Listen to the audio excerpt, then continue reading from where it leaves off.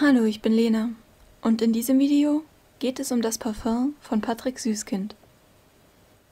Ich werde den Inhalt zusammenfassen und knapp auf die auftretenden Personen eingehen. Es wäre gut, wenn du das Buch schon gelesen hättest oder noch lesen würdest.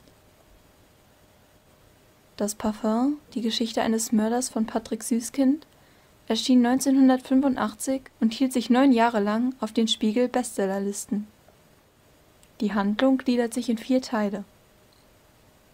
Der erste Teil beginnt mit der Geburt des Protagonisten am 17. Juli 1738 am dreckigsten, stinkendsten Ort von Paris.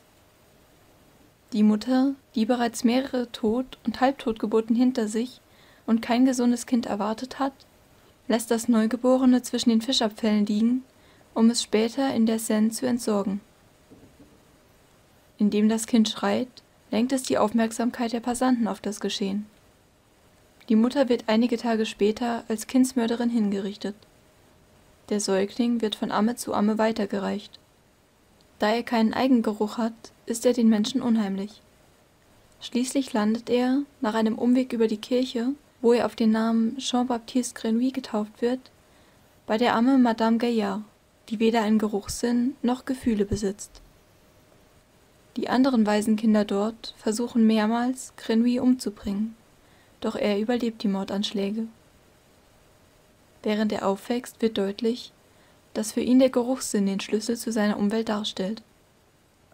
Im Alter von acht Jahren wird Grenouille von Madame Gaillard an den Gerber Grimal verkauft. Die Arbeit in der Gerberei ist so hart, dass die dort arbeitenden Den kompletten Film und viele weitere findest du auf www.sofatutor.com. Sofatutor.com. Gute Bildung zu Hause.